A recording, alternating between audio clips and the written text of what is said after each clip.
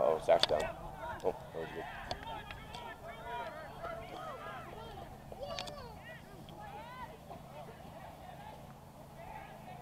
Who's that? That was a nice hit. That was Jesse.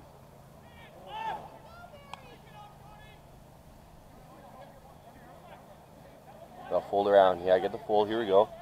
That's what we worked on. Now we line speed. Yep.